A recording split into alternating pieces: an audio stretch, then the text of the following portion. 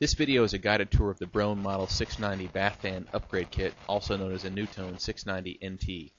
This kit can be used to upgrade an existing fan or simply replace an old motor that has gone bad. There are hundreds of thousands of builder grade fans out there, and this kit upgrades most of the popular uh, fans from Broan, NuTone, Nautilus.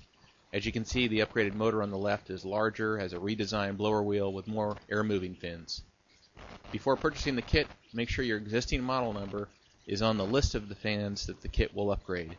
You can find the existing model number hidden behind the grill and stamped or printed on the fan housing.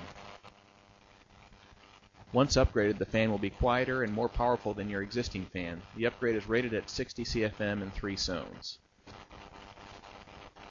You'll have to use your imagination a little bit as we'll be upgrading my old Broan Model 688 fan on the floor. In reality, the upgrade can be done completely from below the fan without going into your attic.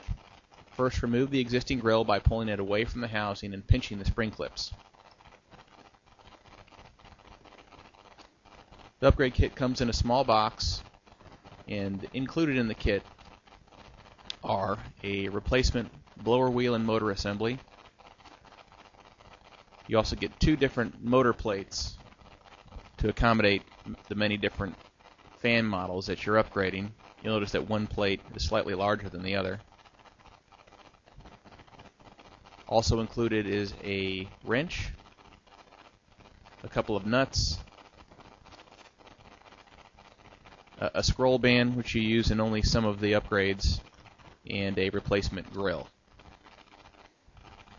Now we'll start the upgrade by unplugging the power supply from the existing motor.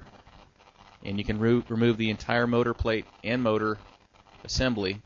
You just have to kind of pry it out from one side with a flathead screwdriver and you can just throw it away. Then we're going to match up the appropriate motor plate from the kit that fits our housing. Then you grab the blower wheel and motor. It has uh, threaded posts on the on a mounting bracket, and these posts fit through holes in the motor plate. And then you tighten uh, tighten them down with the supplied nuts and wrench.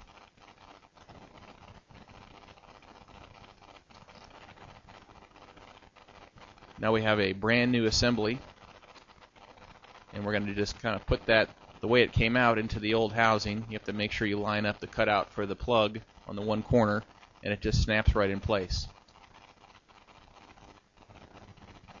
Then plug it back in.